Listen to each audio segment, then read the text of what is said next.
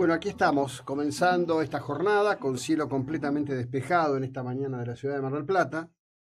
El pronóstico original en el día de ayer decía que las lluvias continuarían durante todo el día de hoy, pero por lo visto, por la lluvia caída, 75 milímetros, aunque hay registros que estarían hablando en algunas franjas de un volumen de agua caída mayor, más que suficiente. Ha llovido de manera tenaz durante casi 24 horas.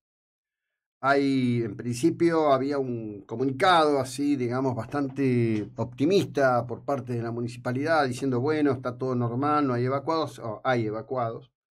Hay gente que está viviendo en, áreas de Mar del Plata que nunca, jamás debieron haberse loteado, nunca, jamás debió haberse llevado adelante la construcción de, viviendas en esas áreas. Cuando, se, cuando cae agua en determinados volúmenes, este, inexorablemente, digamos, la estructura de, de, desarrollo de esta área del partido de General Pueyrredón, que es el fin de las estribaciones del sistema de Tandilia con sus picos y sus valles, aunque a nosotros a veces nos parezca o no nos demos cuenta de todo, de todo eso, este, provoca este lamentable tipo de situaciones. No es menor lo que ha pasado en una cantidad importante de establecimientos escolares que, bueno, han quedado completamente arruinados por la cantidad de agua que entra, que filtra por los techos.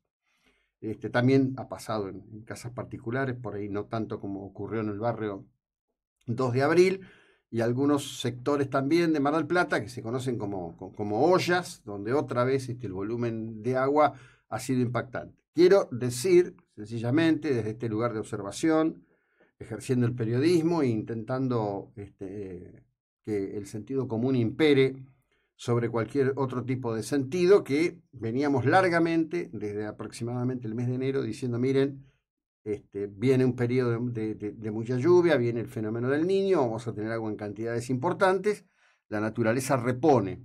Esto ocurre acá entre nosotros cuando el día de antes de ayer fue la jornada de mayor temperatura global del planeta desde que existen registros. Hay que decir que los registros que existen al respecto de toda la cuestión del clima en el planeta datan de finales del siglo XIX es decir, los registros que se manejan para hacer estadísticas en comparación con la historia este, del planeta son de un periodo de tiempo muy breve y son motivo de discusión, aunque está obviamente muy instalada toda la idea de que todo lo que ocurre se le atribuye al cambio global. Piensen ustedes que en lo que para mí es un controversial estudio, este, publicado recientemente y muy citado en muchos medios, porque además tiene un componente muy, muy impactante, que dice que este, la extracción de agua subterránea que ha llevado adelante la humanidad, en particular en el último siglo, ha provocado una modificación del eje del planeta. Y por otro lado está esta cuestión que muchos estudian y que consideran que tiene que ver con los cambios este, que ocurren desde el punto de vista climático, este, la relación de la distancia entre la Tierra y el Sol y la propia actividad solar. Digamos, esto es un paquete muy grande. Lo, que es cierto es que la meteorología está adquiriendo capacidades de predicción bastante este, ajustadas. Este periodo del fenómeno llamado el niño está claro este, que iba a ocurrir. Estaba también claro de que volvería la intensidad de las lluvias y que la naturaleza iba a reponer este, lo, que, lo que falta a consecuencia de los tres años previos con la niña extendida y la sequía que había ocurrido. Ayer, por supuesto, tuvimos la habitual eh, campaña de imágenes, el, intendente yendo de un lado para el otro, diciendo, bueno, Montenegro fue a ver, tema que no resuelve nada, porque hay cosas que son muy anteriores a Montenegro, que, insisto, no debieron haber ocurrido nunca, loteos en la década del 60, loteos en la década del 70, algunos en la década del 80, en lugares que nunca jamás debieron haber sido loteados. Recordemos que este, determinado tipo de, obras que hay que hacer para completar este, y evitar que estas cuestiones ocurran, en, esta medida, este, por ejemplo, en algún caso tienen un presupuesto en dólares de 38 millones de dólares. Son, proyectos que no se pueden hacer sin financiación externa y la Argentina en este momento está muy complicada para conseguir esa financiación externa. Bueno, toda este, esta compleja situación. Así como ocurrió este, en, la, en la década del 90, poco después que Daniel Víctor Cat Jora asumiera la intendencia, con respecto de un barrio, que creo que se llamaba barrio policial, algo así, que tenía seis, siete viviendas, ocho viviendas. Bueno, tuvimos un periodo muy intenso de lluvias, se inundaba, era, un problema. Un día conversando con, el ex intendente le digo, mira, a mí me parece que sería mejor conseguirle casa a esta gente en otro lugar y demoler todo eso y dejar todo eso abierto. Bueno, parte de eso se hizo. Yo creo que hay lugares que realmente la solución hoy, pensando en 10, 15, 20, 30 años, hasta que estos problemas de infraestructura, que son inmensos, se resuelvan, debieran pasar por algún tipo de solución de esas este, características. Porque los lugares, por la estructura, el tipo de geografía y la forma este, en que eh, funciona todo esto, están condenados. Están condenados. Te pueden tocar tres años de seca y nada, perdés conciencia, no tenés ningún problema. Y te toca un periodo como este, donde las lluvias van a seguir siendo recurrentes y esto es lo que ocurre. Em, no ha sido, eh, estas lluvias no son parejas, este, no, no, cubren toda la geografía. La zona norte de la provincia de Buenos Aires todavía no tiene lluvias. Norte, sur de Santa Fe no tiene lluvias importantes que permitan este, reponer. Inclusive hay este, algunas lagunas pampeanas eh, que son en realidad enormes bajíos que cuando hay mucho periodo de lluvia se transforman en lagunas que están completamente secas todavía.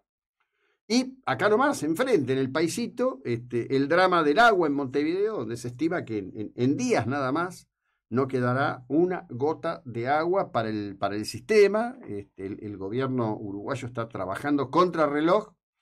Em, en el día de ayer, este, uno de los expresidentes uruguayos dijo, la verdad, esta se nos pasó a todos, es decir, tienen enfrente el, tienen enfrente el Río de la Plata, y nunca se, pasó en, no sé, en 200 años la idea de decir, bueno, che, a ver cómo hacemos, ponemos, compartimos esto, hacemos algo, hacemos como está hecho acá enfrente, en Buenos Aires, ¿qué, qué hacemos? No, bueno, se quedaron conformes con esto. Y a mí me lleva a pensar el tema de lo que está pasando en Uruguay, bueno, cuando nos hemos planteado tantas veces el tema del final de algunas civilizaciones, ¿no? La civilización maya, la civilización azteca, civilizaciones este, en Medio Oriente. Bueno, el cambio climático. Eso además está este, arqueológicamente muy, eh, muy estudiado.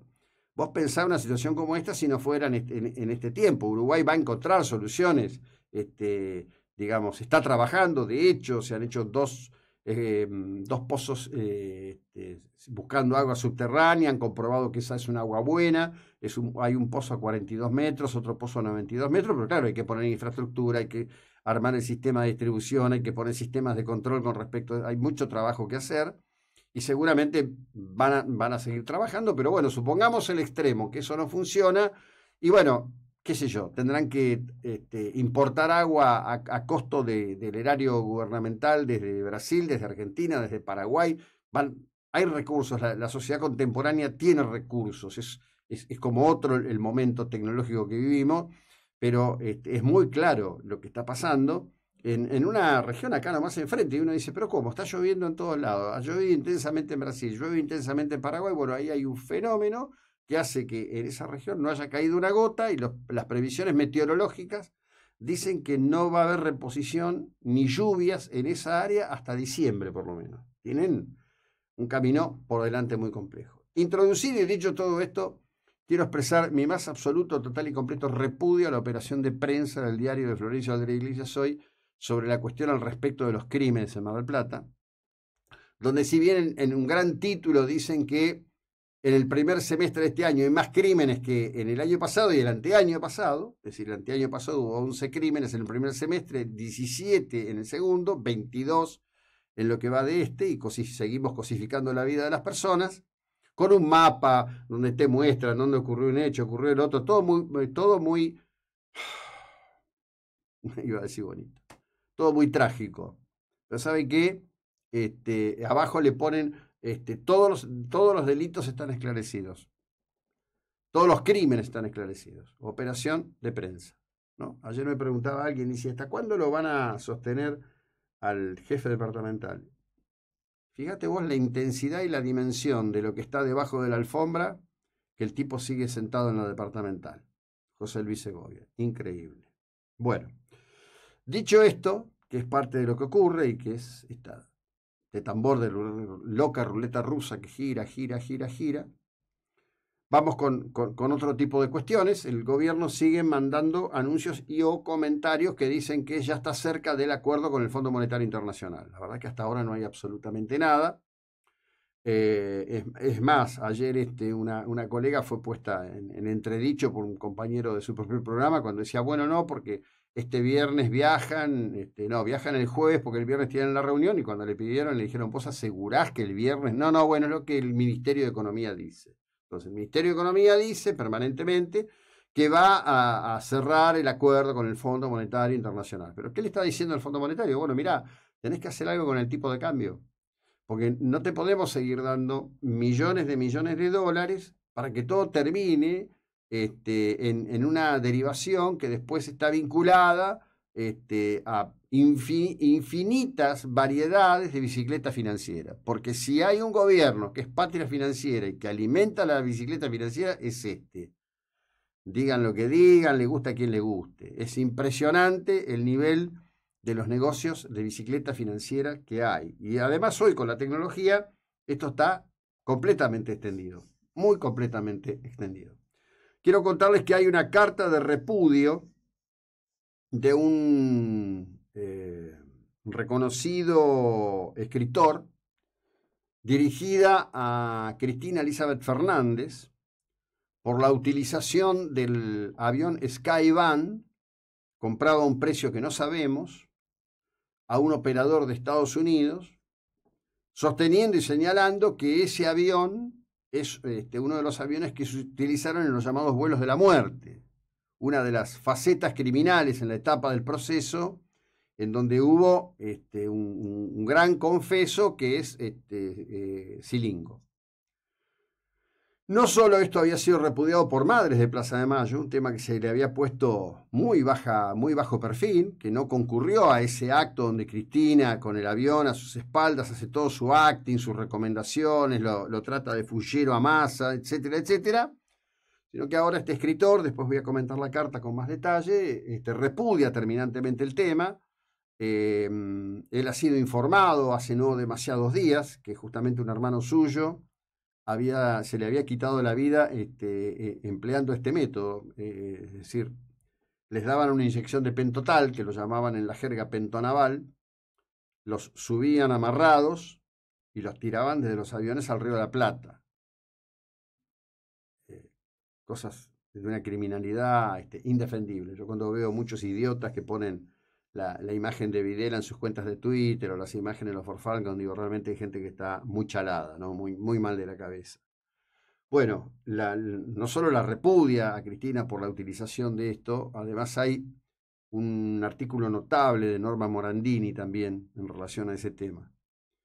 Em, como señeramente dijo Mauricio Macri en 2014 y lo dejaron solo, hay que terminar con el curro de los derechos humanos.